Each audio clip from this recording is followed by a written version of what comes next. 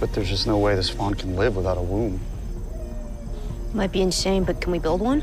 Not might be, it is insane. Hold on, I've seen you geeks build a gun with a paper towel tube and a urinal cake. You crafted a submarine escape hatch from an oil drum. So if it's possible, figure out a way to build this kid a, a womb. A- Actually, a kid is a baby goat.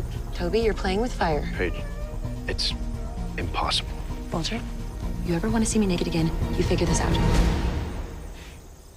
You heard her, team. Let's save these deer.